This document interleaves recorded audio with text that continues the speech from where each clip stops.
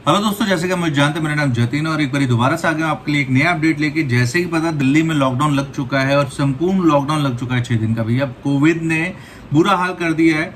हाल फ़िलहाल बहुत सारे लोग प्लान कर रहे होंगे भैया कि कई लोग घर पे प्लान करते हैं भैया कि नहीं रह सकते यंगस्टर ज़्यादातर।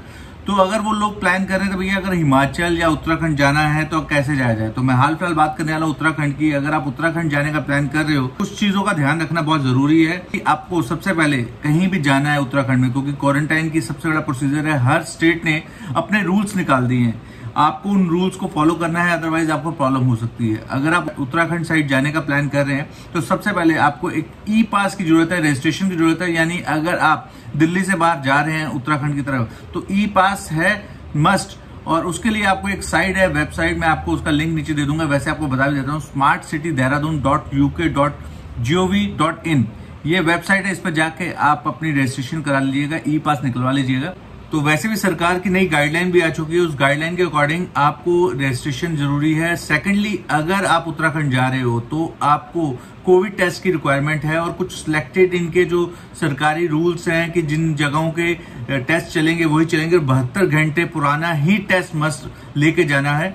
आपको एक चीज़ और क्लियर कर दूँ कि अगर आप वहाँ जा रहे हो और अगर आप सोचोगे एक दो जगह आपकी चेकिंग नहीं हुई तो ऐसा नहीं कि आगे नहीं हो सकती। कहीं भी आपकी चेकिंग हो सकती है और अगर आपके पास नेगेटिव रिपोर्ट नहीं है तो आपको प्रॉब्लम हो सकती है। उत्तराखंड की तरफ़ कुछ जगहों पे अगर आपका रिपोर्ट नहीं है तो वहाँ पे टेस्ट भी हो रहे हैं। पर मैं चाहूँगा कि आप अवॉइड ही करिए, क्योंकि वहाँ पे दुनिया भर की पब्लिक होगी, बहुत सारे लोग होंगे, शायद आपको प्रॉब्लम हो जाए।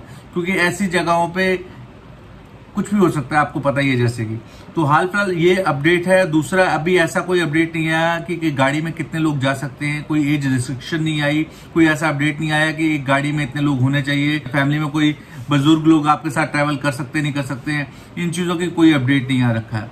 हाँ आप घूमने का प्लान कर रहे हो तो आप डेफिनेटली जा सकते हो। और वैसे बताऊँ तो दिल्ली जैसी जगहों से निकल के आप ऐसी एक शांति वाली जगहों पर जाके आराम से आप रह सकते हो। आज की डेट में बहुत सारे लोग ऐसा कर रहे हैं। वर्क एट होम ना करके, क्योंकि दिल्ली में इतना ज़्यादा कोरोना फैल रहा है कि भैया लोग अवॉइड नहीं कर सकते, क्योंकि ज़रूरत की चीज़ों के लिए बाहर निकलना पड़ता है और गली गली में हर जगह इतना शोर, इतने लोग हैं, लोगों को समझ ही नहीं आता। कई लोग तो मास्क में लगाते तो प्लीज़ भैया अपने आप से प्यार करो मास्क लगाओ अवॉइड करो लोगों से बात करना और थोड़ा दूर रहो, दूरी बना के रहो, बहुत ज़रूरी है। इस वक्त तो नया जो कोरोना, कोविड जो फैल रहा है, वो नया आ गया है, भैया भैया हवा में भी फैल रहा है।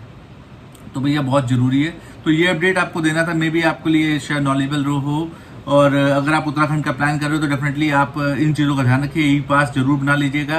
कोविड टेस्ट की रिपोर्ट करवा लीजिएगा। इन केस अगर आप नहीं करवा कर जा पाए, कोई इमरजेंसी पड़ गई है तो कुछ जगहों पे कोविड टेस्ट फ्री हो रहा है। तो ये अपडेट था लेटेस्ट जो कि मैंने आपको देना था। और अगर आप हमारे चैनल पर नए हैं तो भैया सब्सक्राइब कर दीजिएगा। बेल आइकन ऐसे लेटेस्ट अपडेट आपको मिलते रहेंगे।